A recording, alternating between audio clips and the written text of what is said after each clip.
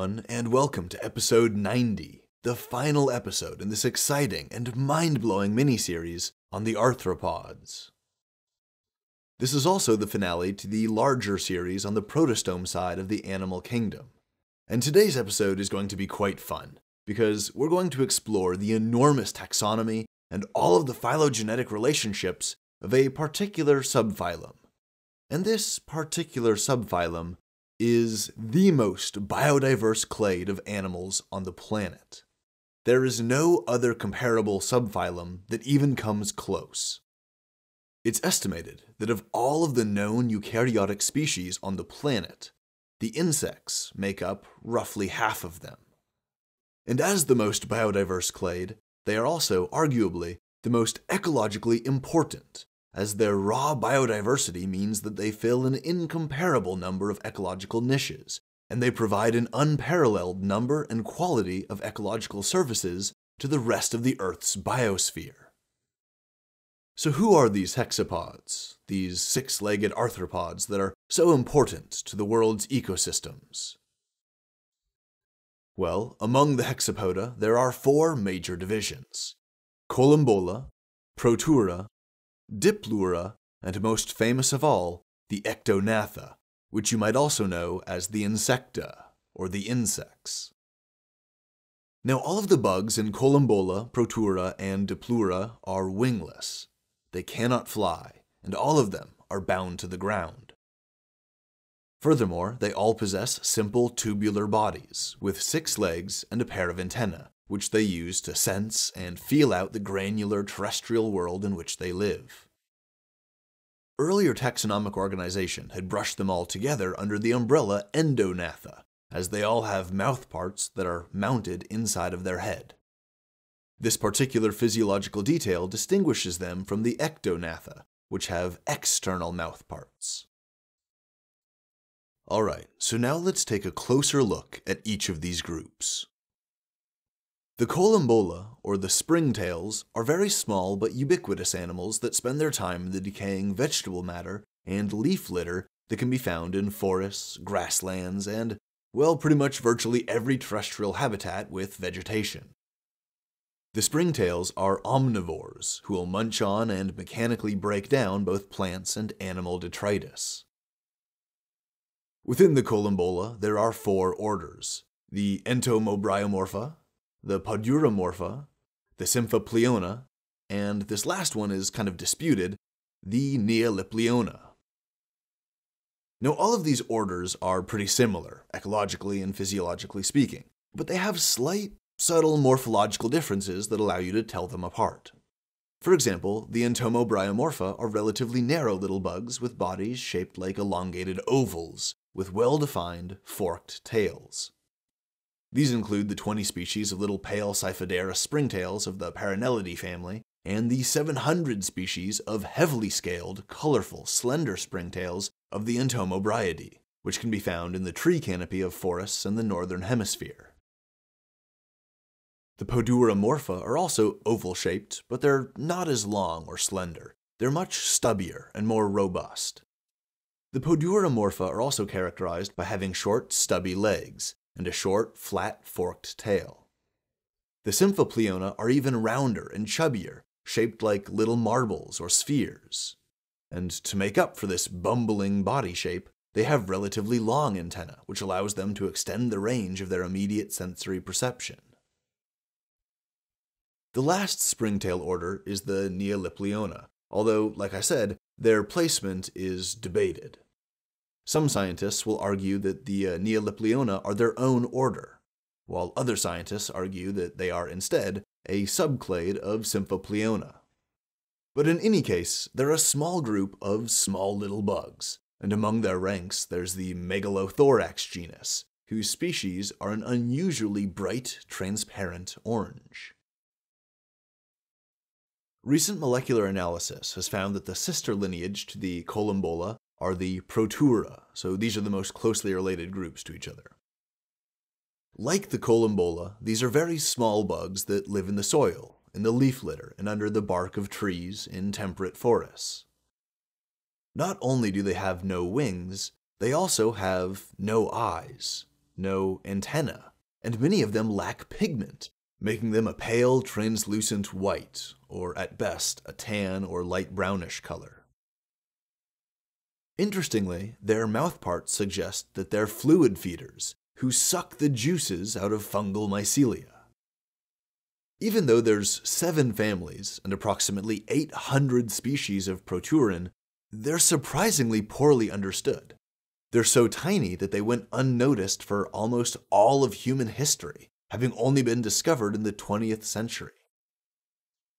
The total range, preferred habitat, and life strategy of many of these bugs is also not well understood. What little we do know is that the Hesperentomidae and the Protentomidae families appear to have representative species across Eurasia. The three species in the Antelientomon family live in the tropics of Southeast Asia. The two species of the Fujientomon and the three species of the Sinentomon families live in China, Korea, and Japan. And the Eosentomidae family, which includes the huge Eosentomon genus with over 300 species, has a worldwide distribution. The last Proturan family, a Acerentomidae, is by far the largest in terms of the number of genera.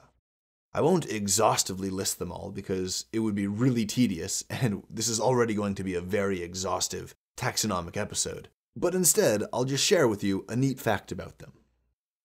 Virtually every species in the hexapoda is tracheated, which means they have a series of tubes called trachea running through their body. Oxygen from the atmosphere diffuses through little pores called spiracles, which then makes its way into the tracheal network. This oxygen will flow through these tracheal tubes to oxygenate and diffuse into all of the internal tissues of the hexapod's body. It's how they respirate, it's how they breathe. But the Acerentomidae are an exception in that they don't have trachea.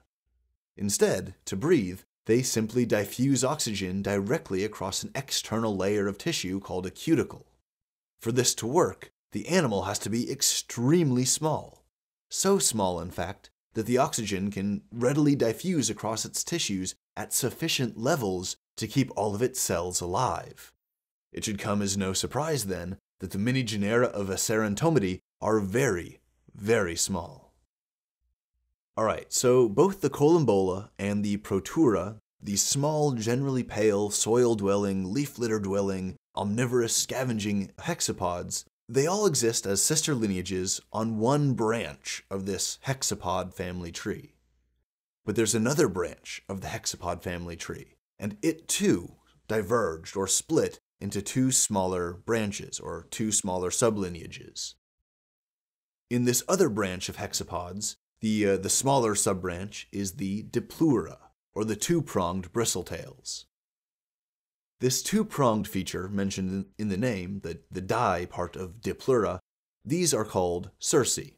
They're a pair of antenna-like structures that protrude from the tip of the tail. And as you'll soon hear, the cerci have taken on a wide variety of forms and functions. The Diplura includes some 10 families and 800 species of mostly blind, wingless bugs with long, narrow bodies, and they too live in the soil and the leaf litter. However, they're not predominantly herbivores or scavengers, but instead, like the centipedes, who also have the two strange appendages coming off their telson, their rear body segment, many of these Diplura are active predators.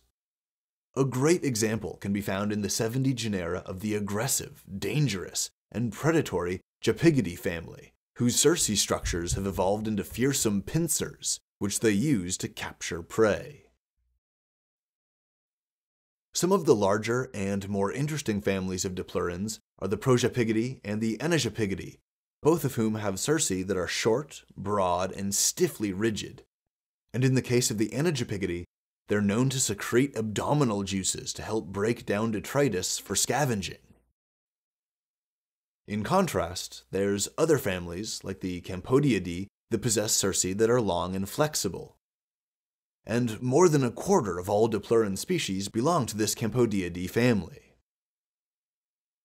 Other Dipluran families are quite small and discrete, such as the Dinjapygidae family, which contains just one genus and six species. And there's also the Octostigmatae family, with one genus and only three species. And that about sums it up for all of the Entognatha, or the, the more basal lineages of the hexapods. Now, I should explain that, that the term entognatha has really fallen out of favor, as it was developed using morphological analysis, mainly focusing on the presence of internal mouth parts. But more recent genetic analysis has found that these three groups, the Collembola, the Protura, and the Diplura, are paraphyletic and not monophyletic. In other words, the actual genetic relationship is much more complex than the study of morphological mouthpart features would suggest, and their natural history appears to be interwoven with the insects. This is a nice segue into the most recently diverged group of hexapods, which will be the subject of the rest of the episode. This is the class Ectognatha, or the insects, and there are three large divisions in this clade the Archaeognatha, or the jumping bristletails, and the Zygentoma, or the silverfish, which together make up the wingless insects. And the third group is the Pterygota, or the winged insects.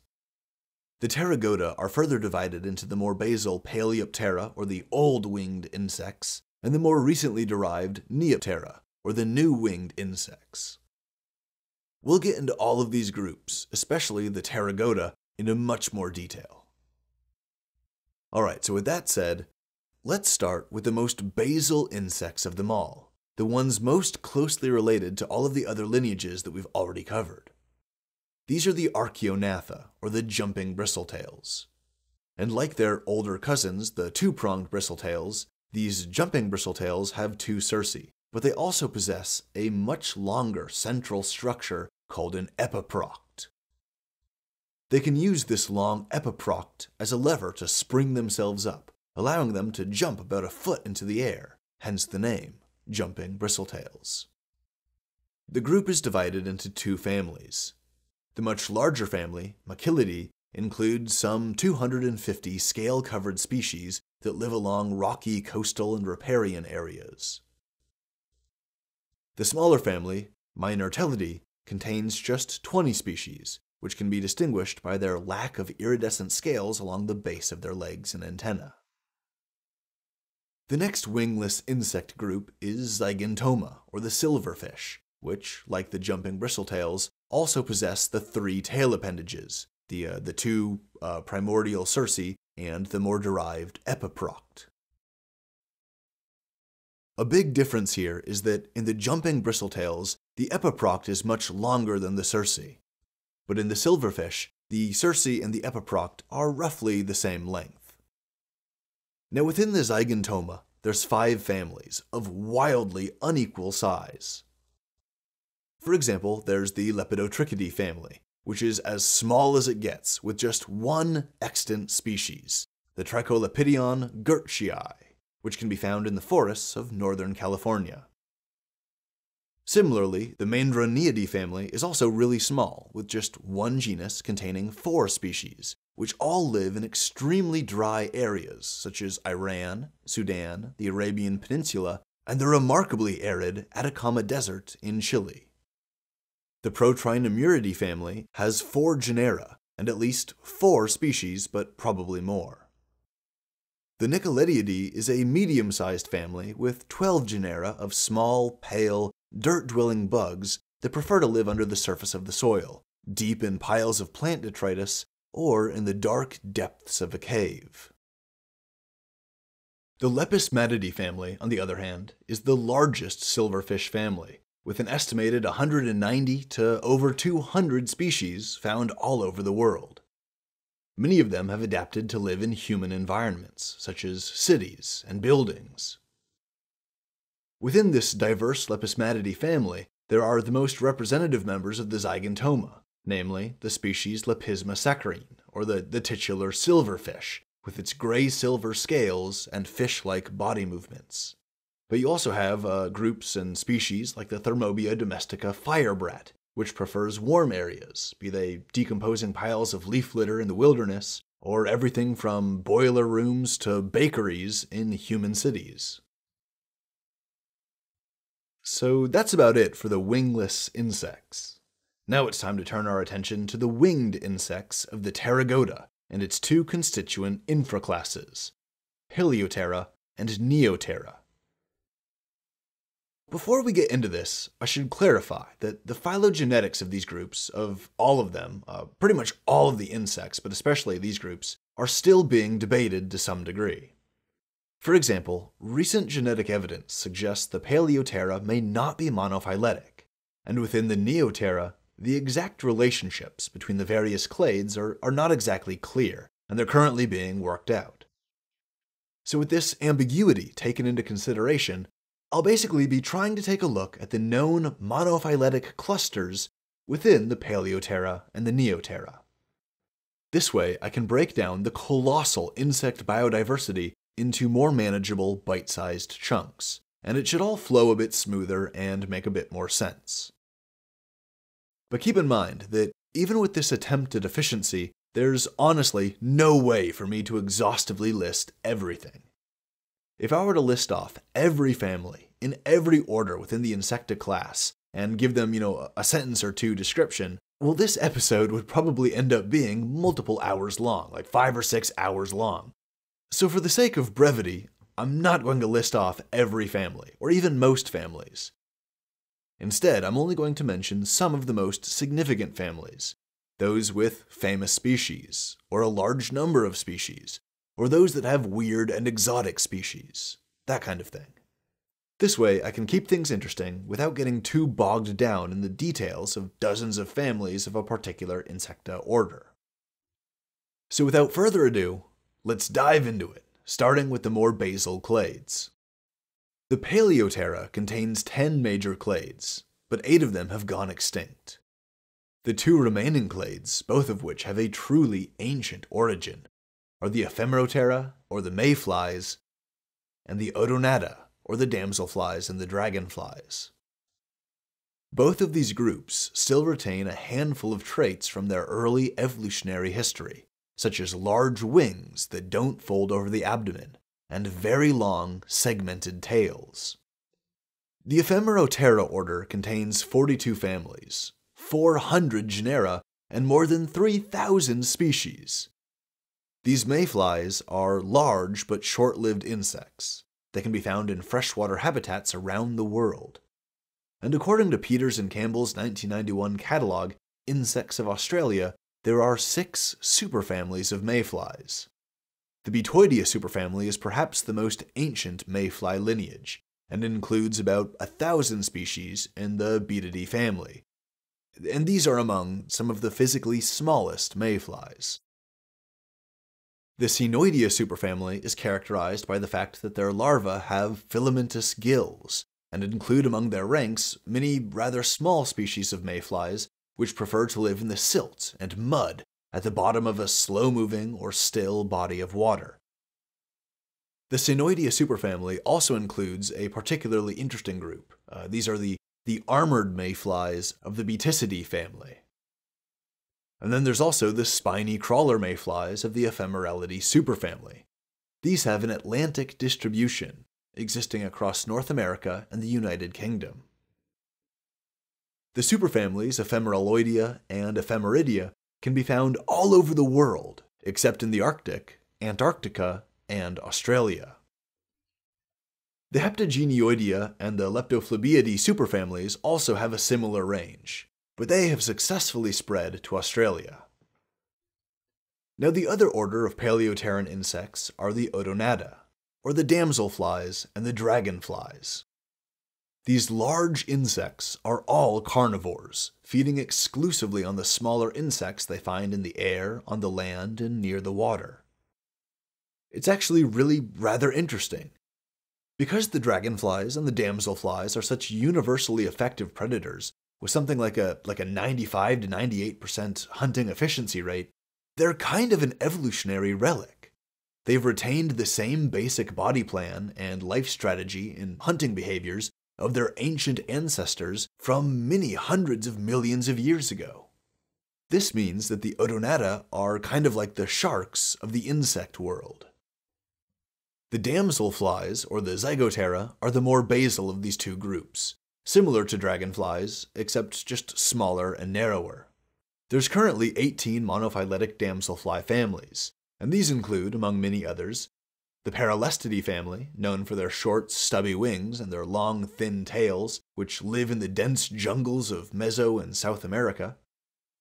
And then there's the shadow damsels of the Platystictidae family, the metallic colored gossamer wings of the Euphaeidae family, the large, beautifully iridescent, river dwelling jewel wings of the Calopterygidae family, and the largest damselfly family of them all, with some 1,300 species with a global distribution, is the Coenagrionidae. The other Odonata group are the true dragonflies of the infraorder Anisoptera. Now, this is probably my favorite group of insects. The dragonflies are just super cool. They are so badass. They're giant bugs. They look awesome. They have incredible colors. They're named after dragons, and they don't take shit from any other bug. They eat virtually every other insect they come across. That is brutal and hardcore and super badass. But I'll try to make sure that my bias doesn't affect my description of the dragonflies. Okay, anyways, within Anisoptera, there are 11 families. Some of the notable families include the Corduliidae, or the, the emerald dragonflies, which refers to their iridescent emerald green eyes. Then there's also the Cordulegastridae, or the spike tails, referring to the large, sharp ovipositors on the end of their tails, and the Libellulidae family, which is the largest family in terms of species in the world, with a global distribution. The Echinidae and the Austropetaliidae families include many of the larger, beefier dragonflies, with the largest dragonfly species of them all, the Australian Petalura ingentissima with its 160mm or 6.3 inch wingspan, that monstrosity belongs to the oldest dragonfly family, Petaluridae. Alright, so that was our run through of the Paleoptera, the old winged insects. Now let's turn our attention to the newer and more derived lineages of the Neoptera. This group is an order of magnitude more diverse than the Paleoptera, so I'll be skimming through it at an even faster clip. Just to illustrate the difference here, where Paleoptera has two orders that are still alive, two orders that still exist, Ephemeroptera and Odonata, the Neoptera, in contrast, have more than two dozen extant orders. First, let's go over some of the more basal groups. Perhaps the most basal are the more than 3,500 species of stoneflies of the Plecoptera order.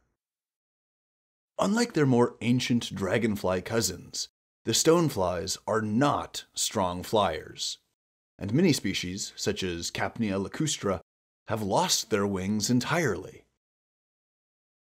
Among the 15 plus stonefly families, some of the more notable ones include the cold-tolerant winter stoneflies of the Capniidae and Taeniopterygidae families, the huge Perlidae family with more than 1,100 species, and the giant stoneflies of the Pteronarcyidae family, known for their ecological importance as a food source for salmon. The next most basal insect orders are the termites and cockroaches of the Blattodea order, and the mantises of the Mantodea order.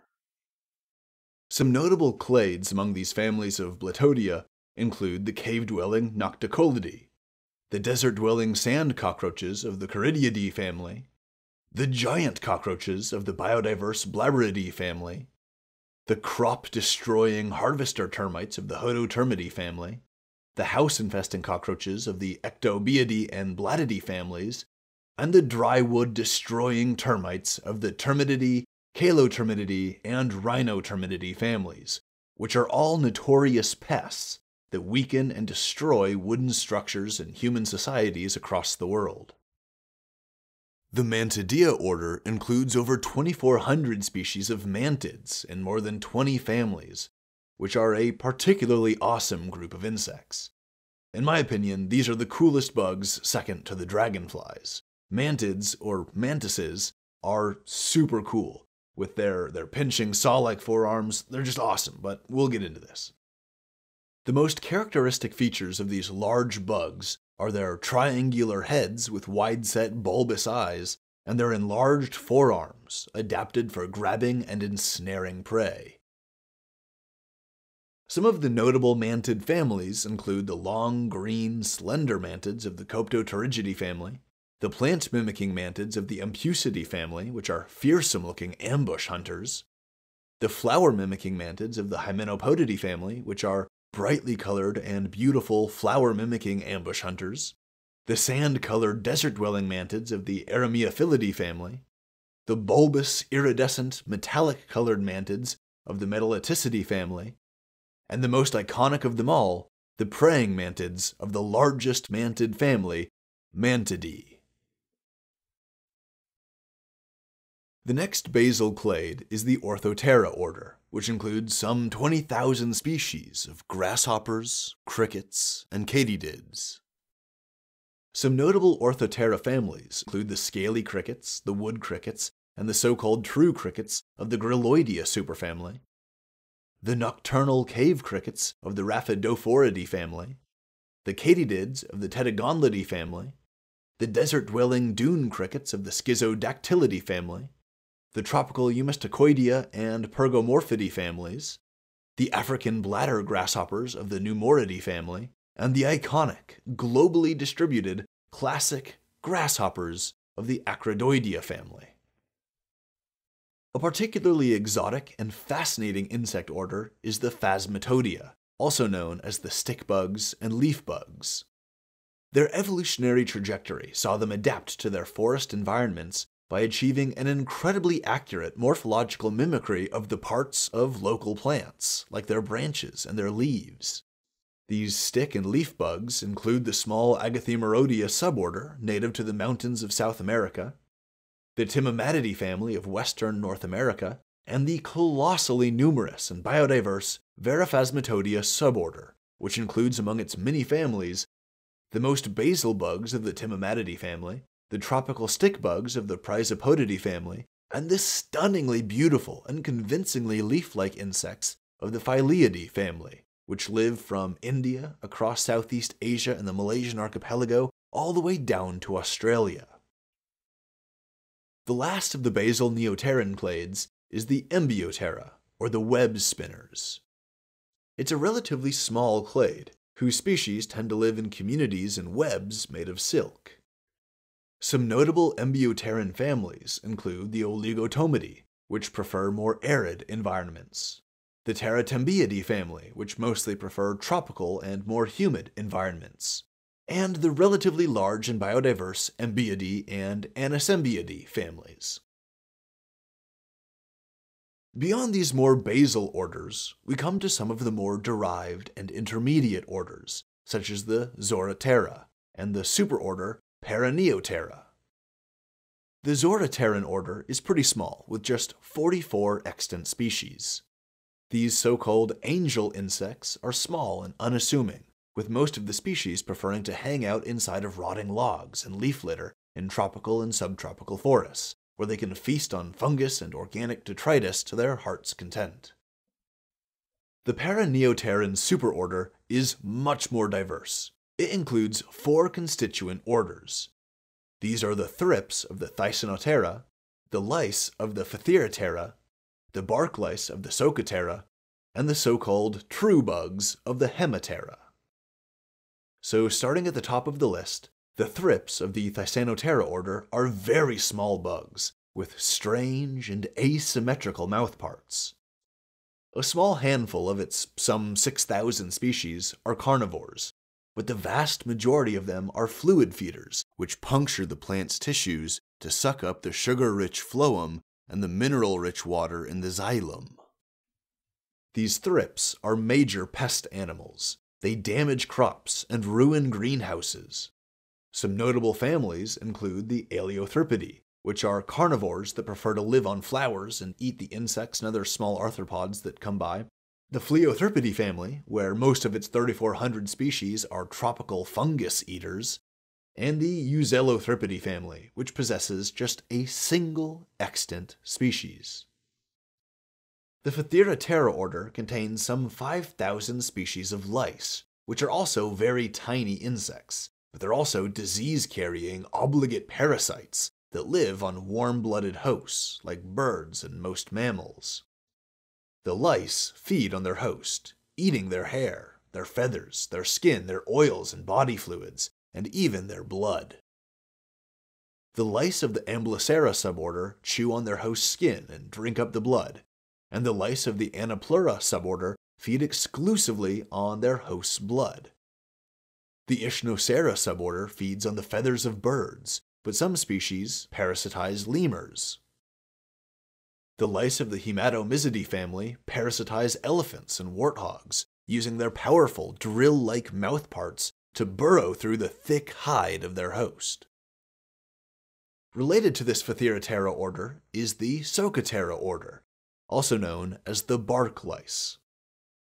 Instead of parasitizing warm blooded animals, the bark lice live under the bark of trees, where they eat exposed plant tissues, as well as fungus and lichen.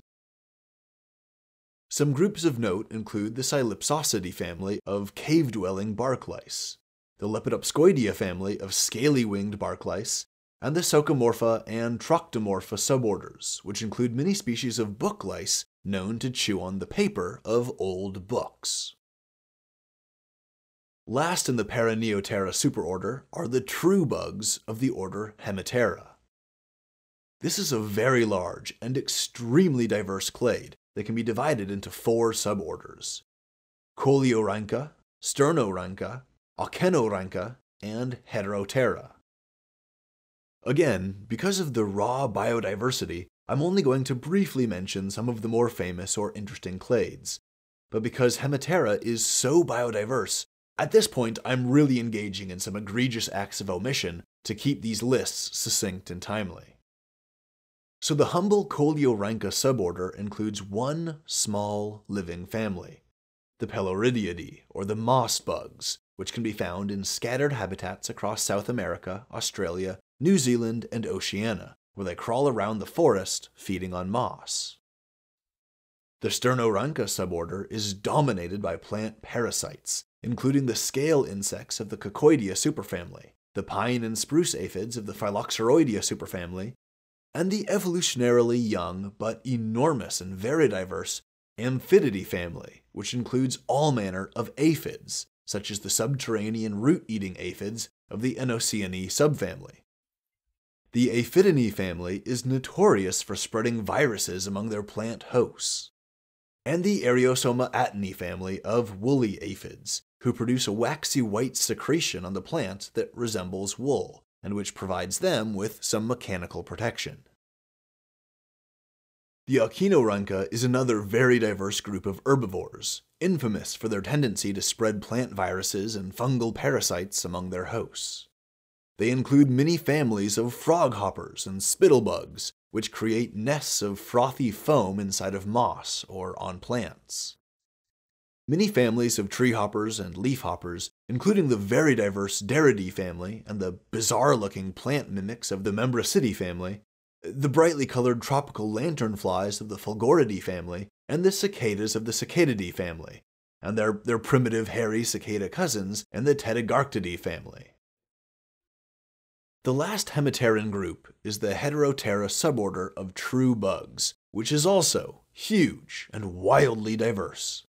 Some of their more famous members are the water striders of the Gerromorpha infraorder, the frightful carnivorous true water bugs of the Nepomorpha, the obnoxious stink bugs and exotic flat bugs of the Pentatomomorpha infraorder, and the parasitic pirate bugs, assassin bugs, and bed bugs of the Cimicomorpha infraorder.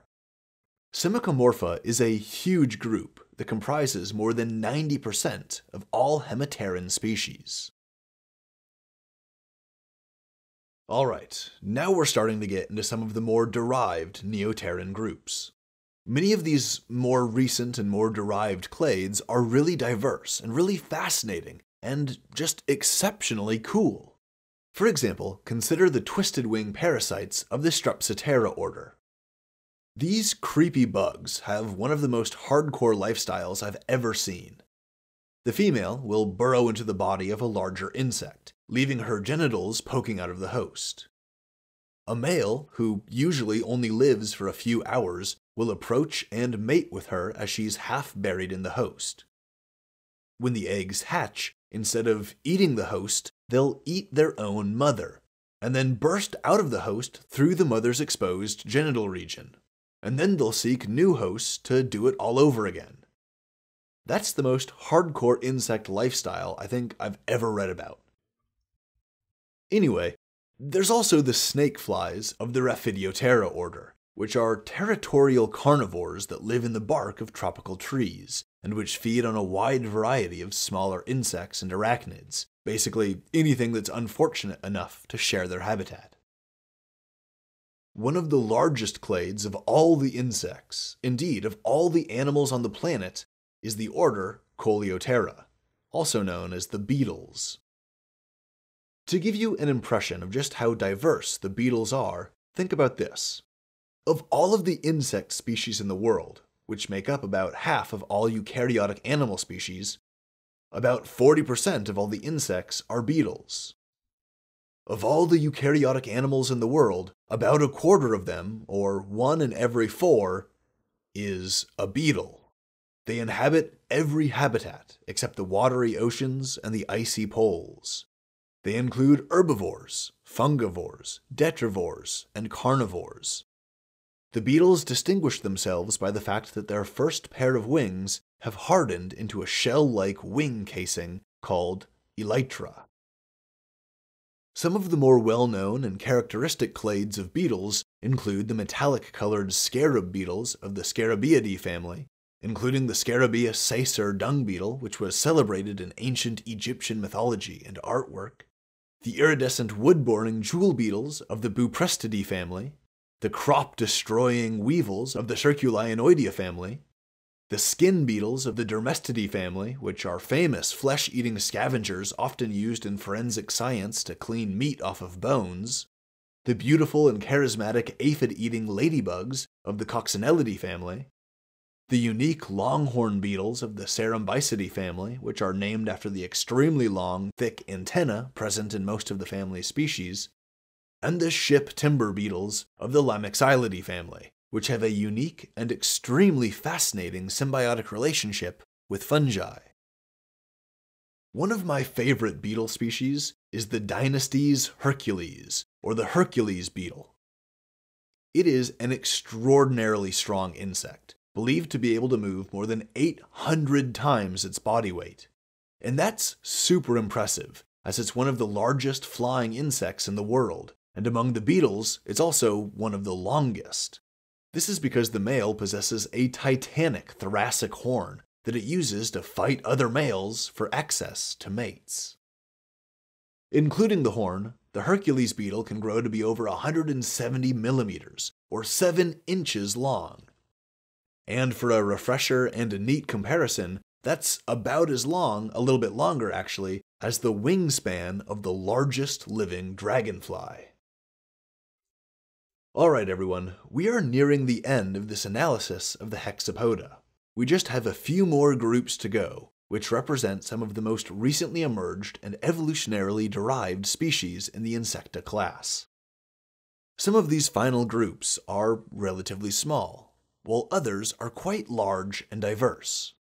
For example, the Mecopteran order is very small, with just 600 species. The group is often called the scorpion flies, which refers to the largest family in the order, Panorpidae.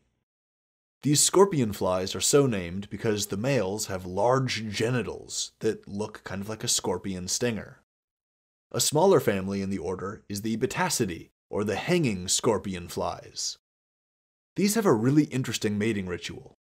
The male will capture an insect and deliver it to the female as a mating gift in an attempt to woo her to mate with him, you know, showing off his hunting skills. According to a 2013 study on this mating phenomenon, females are more receptive to mating when this captured insect, this nuptial gift, if you will, is larger. Perhaps because that demonstrates greater daring or vi- vitality or ability in the male partner. You know, perhaps it demonstrates greater fitness. And this encourages the female to mate with that particular male. Moving on, the Siphonaptera order is also relatively small, with just 2,500 species. You might recognize these as the fleas. They're very small, parasitic insects that burrow into the flesh of their mammalian or bird hosts in order to drink their blood. The Stephanocircidae and the Ceratophyllidae families parasitize rodents, and the latter also parasitizes birds. The fleas of the Pulicidae family are notorious, not just because they frequently parasitize cats and dogs, but also because these were the fleas that carried the bacteria Yersinia pestis, which causes the bubonic plague. Speaking of disease carrying pests, a group that's closely related to the scorpion flies and to the fleas is the Diptera order, better known as the flies. Unlike the previous groups, Diptera is absolutely massive, with an estimated 1 million species.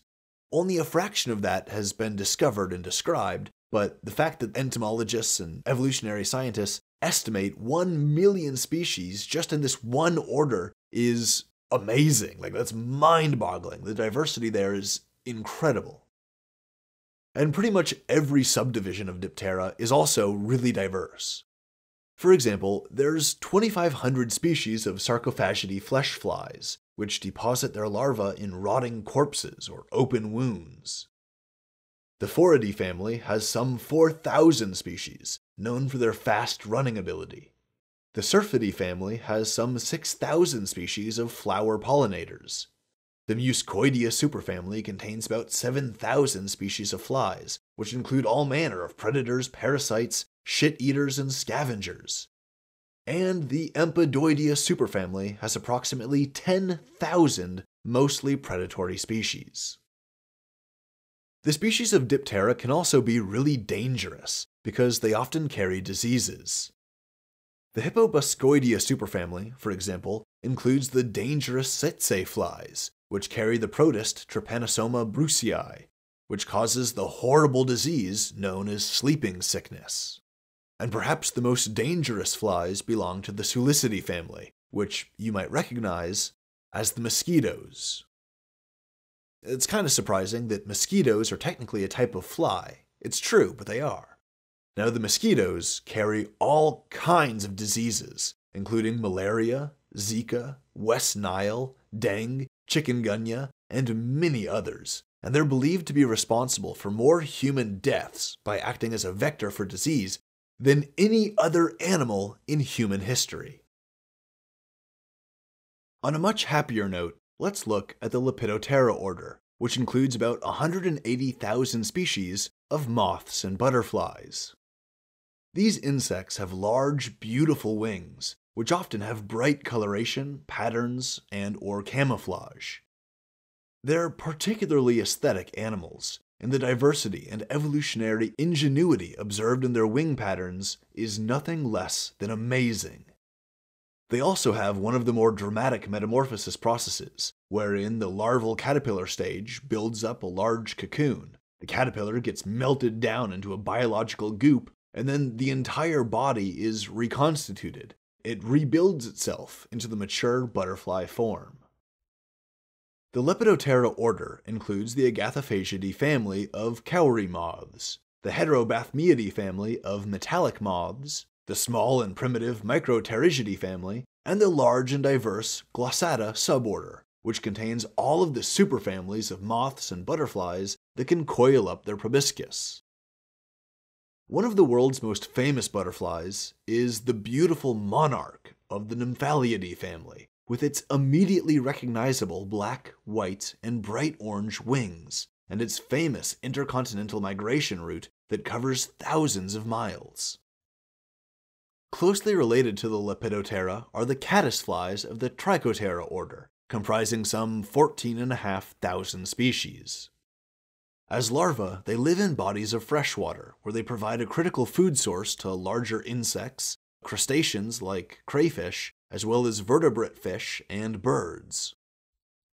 As adults, some of the species eat nectar, but most species actually don't eat anything at all. For many of these caddisflies, the adult life stage is brief. It's meant only for rapid reproduction. They find a mate, they reproduce, and then they die. Once they reach sexual maturity, the entire focus of their life transforms into a speed run to reproduce before they die. Alright, everyone, with this, we have come to the last order of the Insecta class. This is the order Hymenoptera. It's a very large and very diverse order, with over 150,000 species. The singular trait that characterizes them all is that the females have a modified ovipositor that allows them to lay eggs inside of a host or some other specific place, like a narrow chamber in a nest or a hive. Sometimes, in some species, the ovipositor has been adapted into a stinger. The Hymenoptera can be divided into two suborders, Symphyta and Apocrita. The Symphyta suborder includes almost 9,000 species of herbivorous sawflies and wood wasps. Most of them are herbivores, but the species of the Orussoidea superfamily are carnivores and will parasitize the larvae of jewel beetles, longhorned beetles, and other wood wasps. The other suborder, Apocrita, is incredibly huge and wildly diverse, as it contains all of the countless species of ants, bees, and wasps. There are far too many clades to exhaustively list, and even a quick summary would leave out so much, but that's really been kind of a running theme this whole episode, hasn't it? Well, let's give it a shot nonetheless. The bulk of the families within Apocrita are wasps, characterized by their ability to deliver potent and painful stings with their stinger ovipositor. Among these mini clades include the classic archetypical eusocial wasps of the Vespidae family, the hairy cowkiller ants of the Mutilidae family, known for their extremely painful stings, the superfamily Ichneumonidae, with some 100,000 species known for the extremely long ovipositors on the females, and the numerous parasitoid wasp clades which lay their eggs in some poor hapless insect or arachnid host. These parasitoid wasps include the Chalcid superfamily of copper wasps, the Chrysididae superfamily of desert-dwelling emerald wasps, and the Scoliidae and Pemphredoninae families of glossy black wasps. Within this stunning collection of wasp families, there's two groups that are a bit different you have the 16,000 species of bees in the clade Anthophila, and the estimated 22,000 species of ants in the clade Formicidae. Among the Anthophila, there are families such as the ground nesting Andrenidae, the common carpenter bees, bumblebees, and honeybees of the family Apidae, the primitive plasterer bees of the family Colletidae, and the large, very hairy, very fast Australian ground nesting bees of the family Stenotritidae and among the ants of the Formicidae clade, there are subfamilies such as the predatory subterranean Amblyoponinae, which are called Dracula ants for their habit of drinking the hemolymph of their own larvae, the even creepier Leptanillinae ants, which feed their own larval hemolymph to their queen, the stink ants of the Dolichoderinae family, which produce a foul odor when crushed, the slave-making ants of the Formicinae family with their large venom glands full of formic acid, the Paraponera clavata bullet ants of the Paraponerinae subfamily known for their extremely, unbelievably painful stings, and the Martialis heureka ants of the Martialinae subfamily, recently discovered in the Amazon rainforest, but representing possibly the oldest lineage of living ants in the world. All right, everybody. That's it. We have reached the end of our tour through this huge and incredibly diverse clade known as Hexapoda. And with this, we come to the end of our mini-series on the arthropods, and the end of our series on the protostome side of the animal kingdom. This episode was pretty wild. It was really fun, and also really interesting. The hexapods are such a crazy group of animals, and no matter what order or family or subfamily you look at, there's always some wild, wicked, disgusting, or beautiful species to capture your attention. Now, if you thought this was fun, then get ready for the next series. Now that we're done with the protostomes, we'll be looking at the other half of the animal kingdom the deuterostomes. These animals are much more familiar, but no less interesting. So that whole series is going to be a lot of fun. It's going to be super exciting and extremely informative. Now, if you liked this episode, then hit that like button or give the show a 5 star review. If you want to check out these upcoming episodes on the Deuterostomes, then hit that subscribe button and hit the bell so you can see all of my new episodes right when I post them. You won't miss a thing. If you want to support the show financially, then check out the official store, or consider supporting the show on Patreon. Our patron tiers start as low as $1 and $2 a month, and if I put out one show a month, well, that's about $1 or $2 a show. And if you think that's worth it, then go to the Patreon page and sign up at a, a tier of your choosing. Any way that you support the show, whether you like and subscribe to help us in the algorithm, or you buy something from the official store, or support us on Patreon, everything you do keeps the show running, keeps the lights on, pays for hosting fees, pays for equipment, all that good stuff. I appreciate it like nothing else. I really do. It means so much to me. It's awesome. And as always, thanks for listening.